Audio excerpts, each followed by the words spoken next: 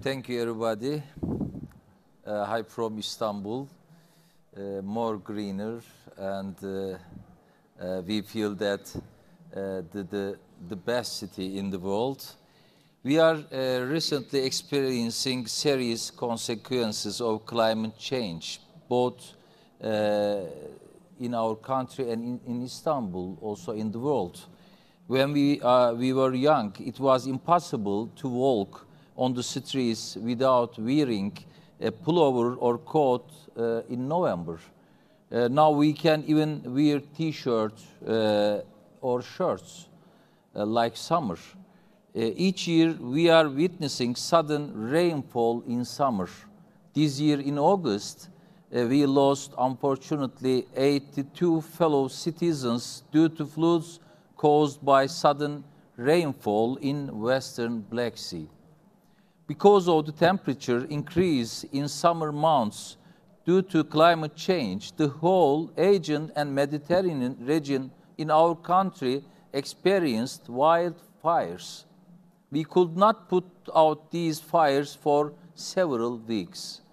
We lost our people, forests, o- other living beings, and areas.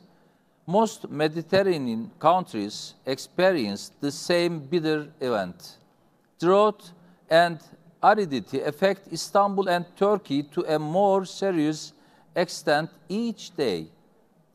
For the first time this year, we had sea snot or mucilage in the Sea of Marmara due to uh, the increase in sea temperature and uncontrolled waste.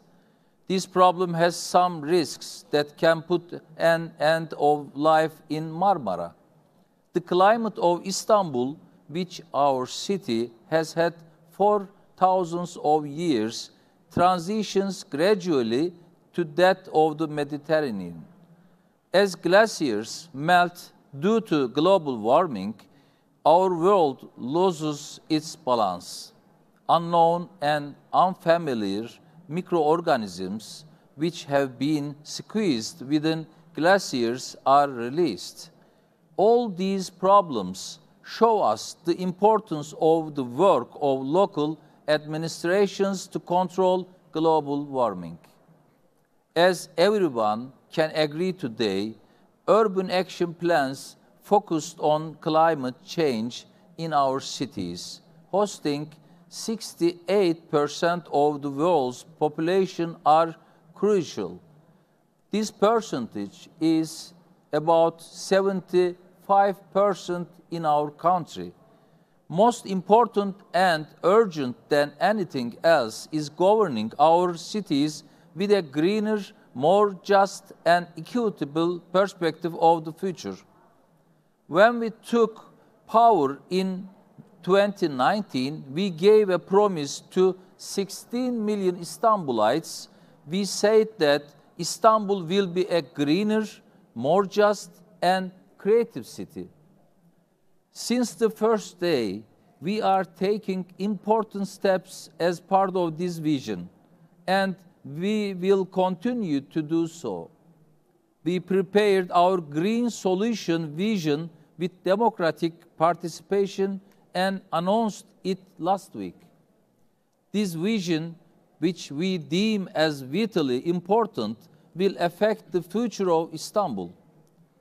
Technical support of C40 network and Arup led us while we were preparing our vision.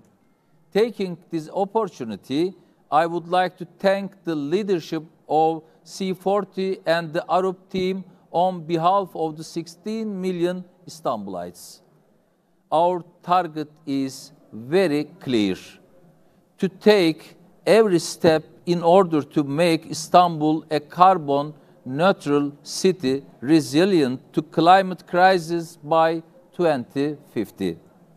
The city of Istanbul will carry out projects that will be an inspiration for the rest of the world. Thank you. In my opinion, uh, there are several difficulties uh, in achieving global results on the way uh, to the carbon neutral uh, goal. But I think the three major challenges are more decisive than uh, any other. First of all, I see the viewpoints of populist political leaders to ignore, trivialize, uh, or postpone the goal of reducing carbon emissions, which is the most vital problem uh, for the future of the whole world as uh, important uh, difficulties.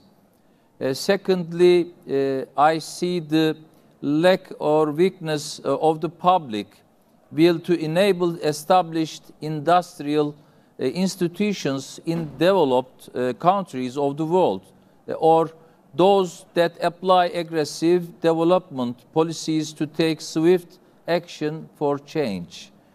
And finally, uh, I think funding is crucial for this information to be put into practice.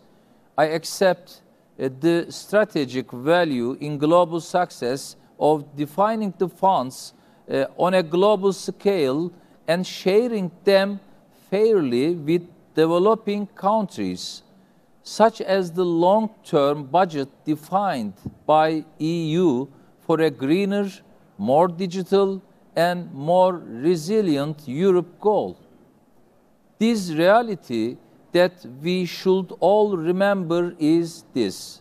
Climate change and environmental degradation are existential threats to the entire world. National borders only exist in our minds. However, we cannot draw borders to cities and countries in the physical and real world. Therefore, a fairer financial solidarity and comprehensive technical cooperation at the international level, level are essential for a solution. Thank you, distinguished participants. Uh, I'm happy to discuss uh, our common problems uh, and seek solutions together on this platform uh, created as part of uh, COP26. Today, um, more than half of the world's population uh, lives in cities. This rate is about more than 68% uh, uh, in the near future. Unfortunately, our cities which are home to billions of people, are the source of many problems just as much as the opportunities they offer. We live in a world order where cities are both perpetrators and victims of climate change. In this process, we as the Istanbul Metropolitan Municipality consider it a priority to make our city much safer for our citizens. Istanbul is one of the unique cities on the planet. But Istanbul is also geopolitically located in one of the locations with the highest earthquake risk in the world. Istanbul, the largest, largest city in Europe, with a population 16 million and also more than 2 million immigrants. We, we are uh, with uh, more than 18 million uh, is located at a very strategic point geopolitically. First of all, half of Turkey's industrial production takes place in and around Istanbul. In addition, direct investments of many countries, especially EU and USA, uh, are located in Istanbul also. I would like to summarize uh, what we have done is in Istanbul in two years under three headings. Due diligence, we have taken into account thousands of years of historical data with the participation of many experts and scientists. Experts estimate the probability of an earthquake of 7 Richter or higher in Istanbul in the next 30 years as 65%. Due to this dangerous probability, 300,000 risky residences in Istanbul need to be renovated. 300,000 risky residences.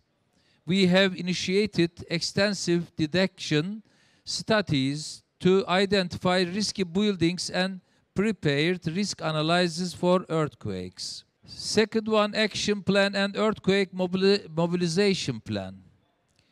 According to experts, in the scenario of a devastating earthquake with a magnitude of 7.5 Richter, 22.6% of buildings in the city will be destroyed. 30% of the roads will be closed. Drinking water and wastewater lines and natural gas lines will be damaged. There will be a great economic loss in total. Due to this dangerous outlook, we urgently decided to develop widespread resilience measures in our city.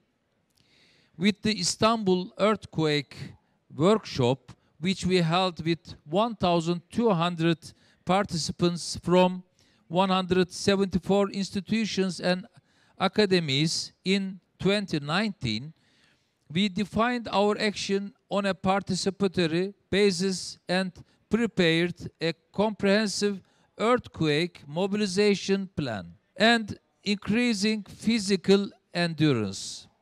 We aim to transform the building stock at risk in Istanbul into earthquake resistant and eco-friendly structures.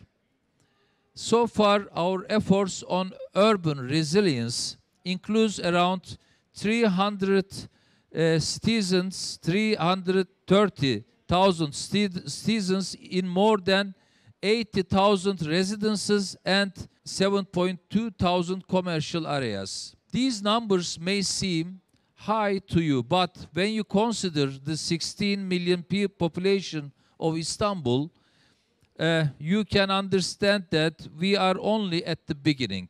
We consider that making Istanbul the largest, largest city in Europe, earthquake resistant is crucial not only for the future of Istanbul and Turkey, but also for the whole continent. In this regard, we need global solidarity. With its creative and entrepreneurial capacity, Istanbul is strong enough to afford all kinds of solidarity. In the meantime, I would like to underline that the Kanal Istanbul project, which was imposed on Istanbul by the government, is considered to be the most serious risk for the security of the city also. The, not only in terms of earthquakes, but also in many respects. We believe that this project is against the 17 principles of the United Nations Sustainable Development Goals. On this issue, we expect solidarity from all actors around, around the world, including financial institutions. Residential uh, areas are responsible for 14% uh, of the carbon footprint in Istanbul. We increase our energy diversity in favor of renewable energies, especially due to the fact the, that national dom domestic energy uh, systems depend on fossil fuels.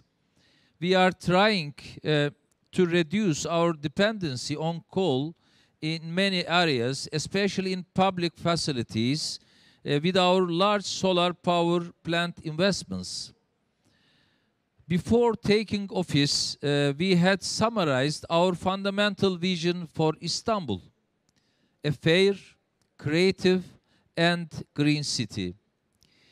For this reason, we have taken great steps to increase the green areas in our city, which has been neglected for many years in this aspect. In 2020, we developed a total of 4 million square meters uh, areas, uh, green areas, and green space and put into use of Istanbulites. In addition, we started to build 15 new living valleys with a total area of 10 million square meters in our city. we will be putting these areas into service starting from next year. We are developing measurements which will reduce heat island effect in the city through creation of dozens of living valleys and urban forests.